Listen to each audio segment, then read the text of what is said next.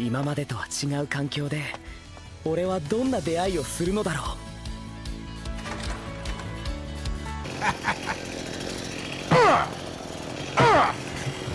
That's a lot of damage. How about a little more?